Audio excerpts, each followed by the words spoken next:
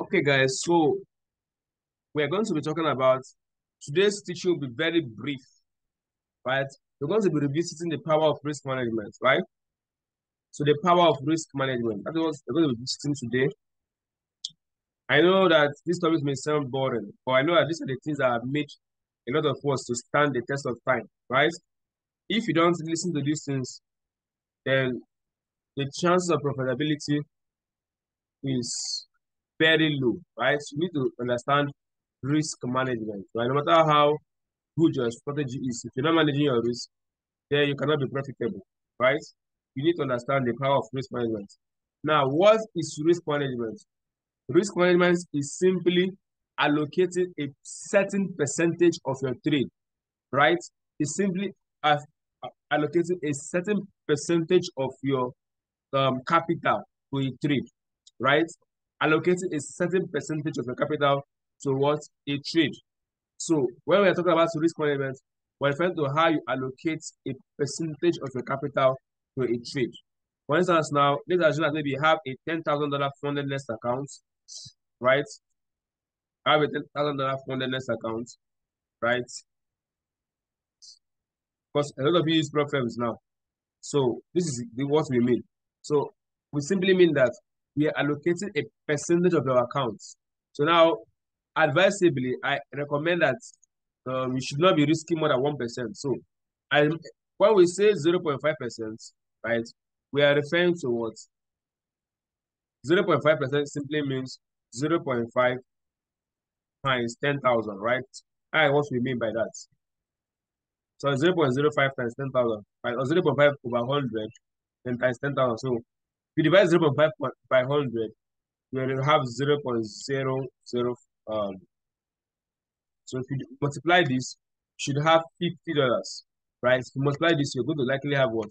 $50, right?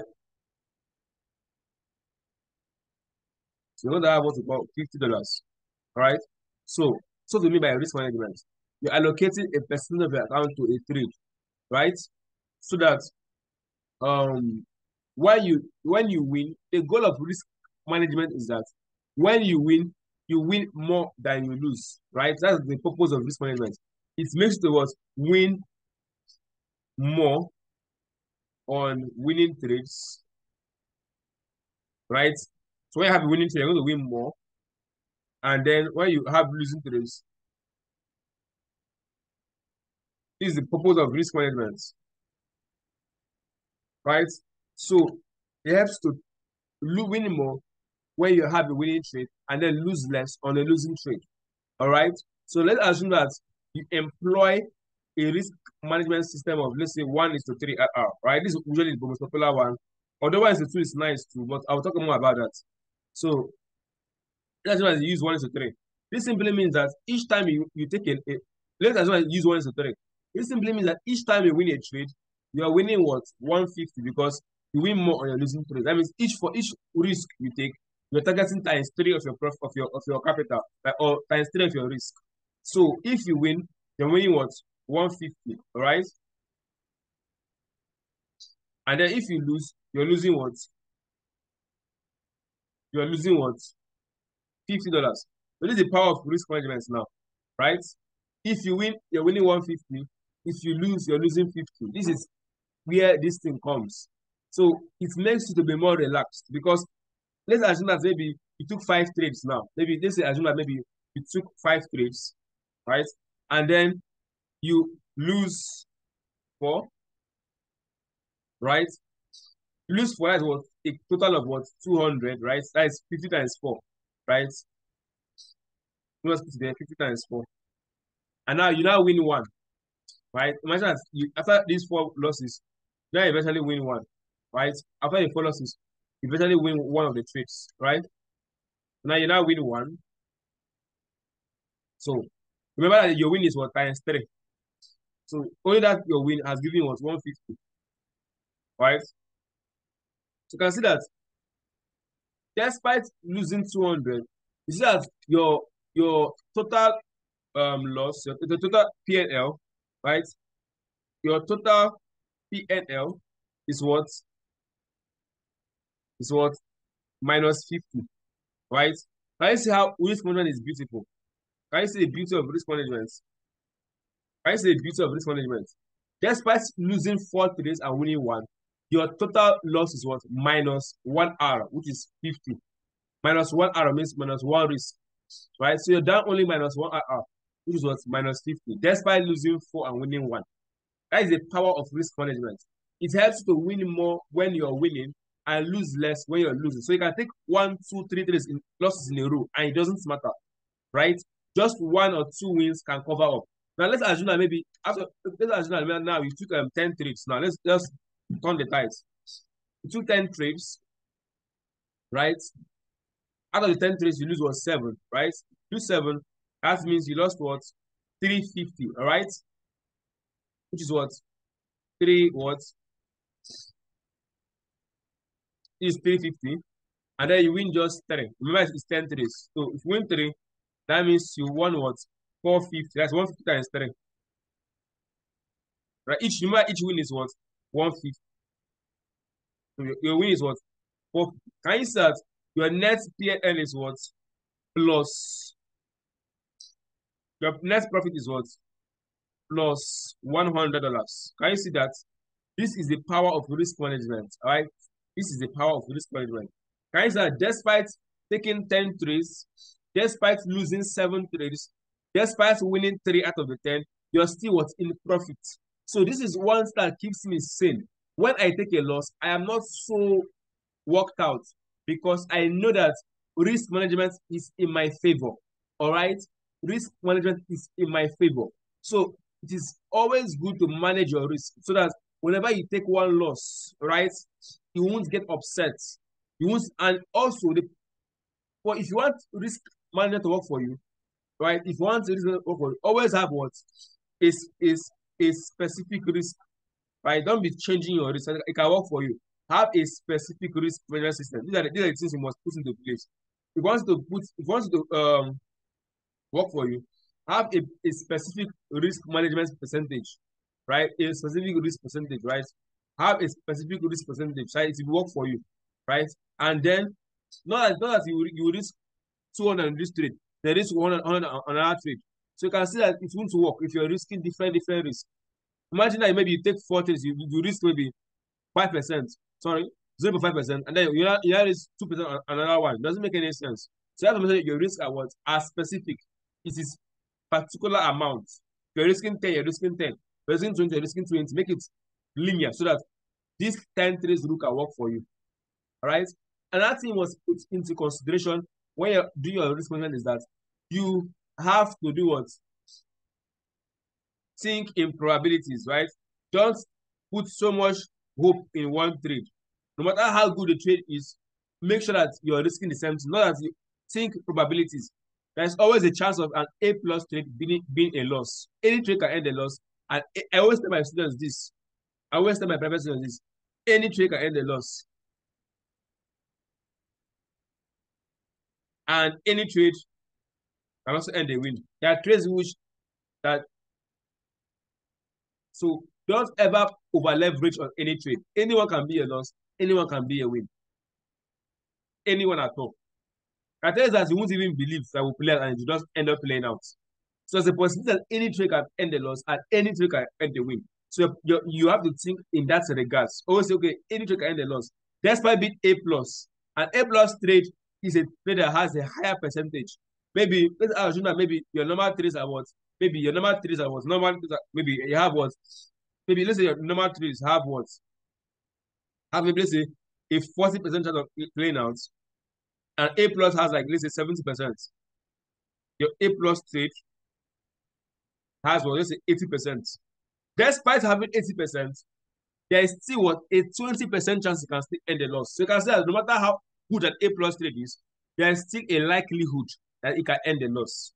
So it's always best that you don't you don't over leverage, right?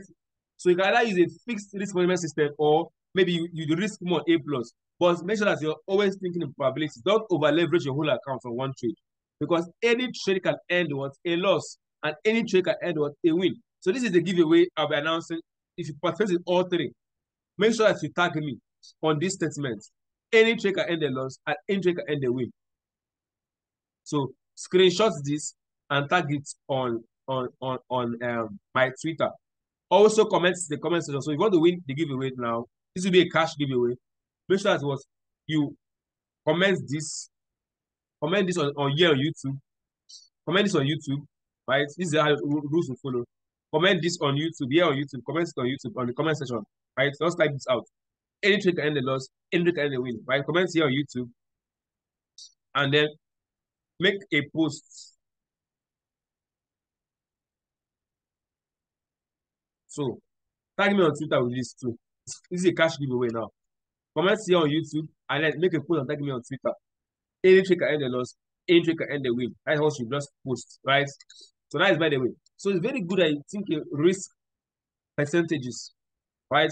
So I'll just quickly tell you guys quickly what um, the best risk to use. So if you're using a one is a two system, using a one is a two system, maybe use one is a two R system, right? One is a two, you have to have what a winning rate of at least 40% to be profitable, right? If you're having um using one is a two, you have to have a winning rate of at least 40%. Using one to three, you have to have a win uh you have to have a win rate of at least at least 30% be profitable. That means at least you, you can win 3 out of 10. Alright, you can win 30 out of 100. Why for 1 to 2? You have to win at least 4 out of 10. 40 out of 100. That is how to be profitable with this. So these are these are the least ones. You can always go for 1 to a 4, 1 is a 5, for those bigger ones. But for these ones, 1 to 2, you must win at least 30% to be profitable. Right? Then using 1 is to 1, right? You one is to one, you have to win at least 60% of the trade. So you one is to one, which I don't recommend, you have to win at least 60%. So you can see that the lower the the the, uh, uh, the higher the the the win rate you need. Reason one is to three. Reason one is to one. You need at least 60 out of 40 out of 100. Use one is to three. You need at least 30 out of 100 if you want to need at least 40 out of 100, you can see that the bigger the risk reward, like the lower the win rate is required, right? And of course, you can always have a higher win rate. Someone can have like let's say one to three, right? And the person is using, um, maybe the person is using um, person is using one, to five, and he has a win rate of what? So this, this is also very possible too. So can have a one to five hour. I also has a window of 50%. So now the win rate is determined by your back testing. So go and back test your strategy, right? Understand the win rate of your strategy. So this is why back testing is important.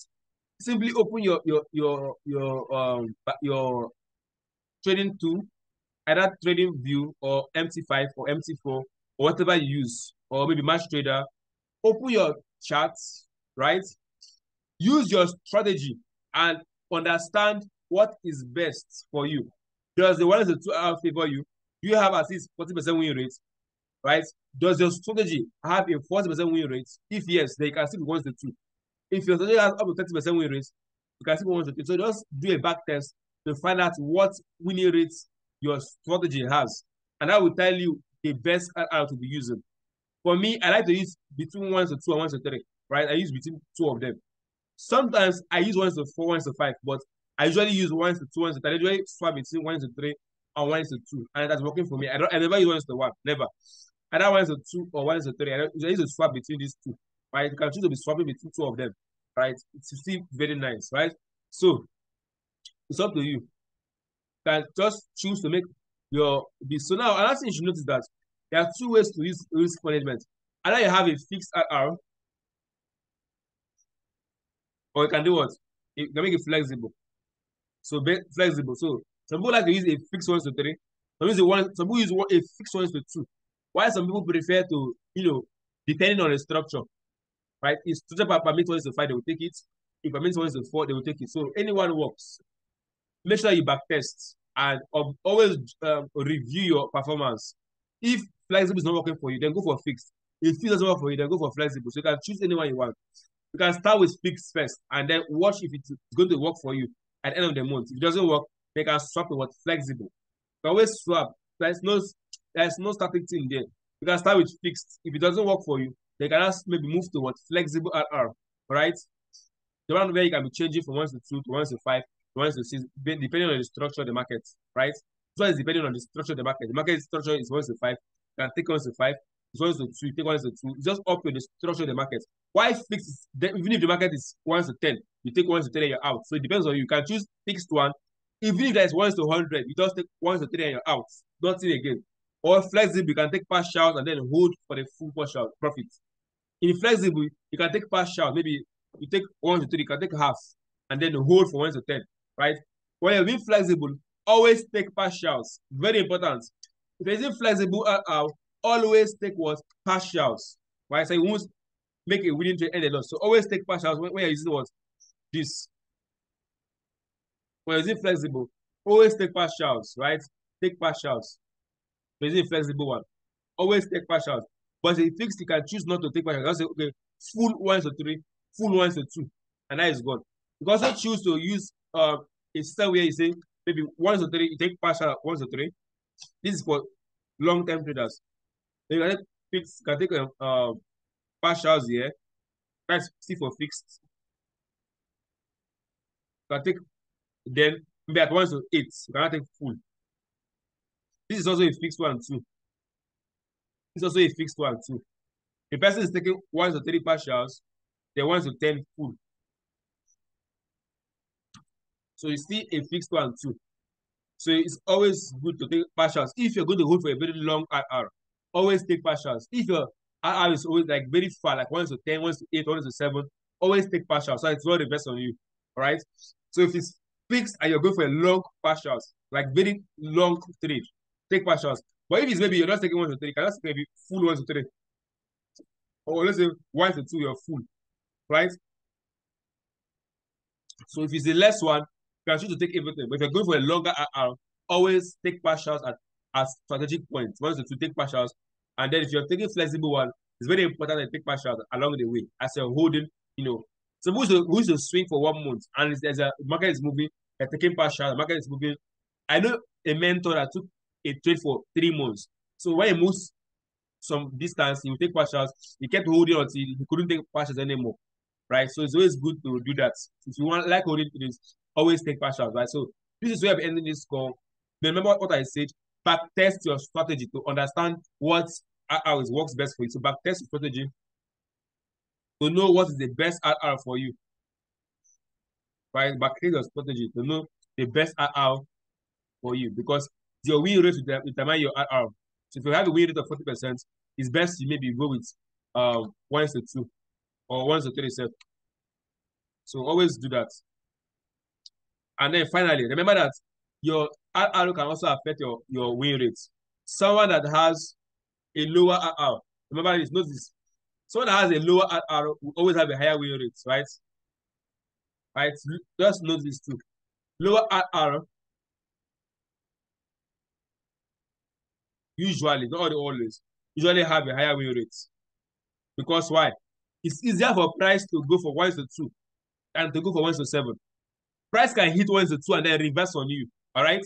But for the market hit one to 10, it might reverse on you. So the likelihood of having a uh, a lower R, you have what a higher win rate. Right. You want to have maybe an 80% win rate. It's likely you're using one to two, one to one. So that is it. So lower R usually have a higher win rate. But just remember what I said. And you should back test to know what works for you. Just do this back test and then I'll see you guys in tomorrow call. Don't forget to participate in the giveaway. Ensure this and then say anything can end the loss, anything can end the win. So see you guys in tomorrow's teaching. So have a wonderful day. Cheers and God bless.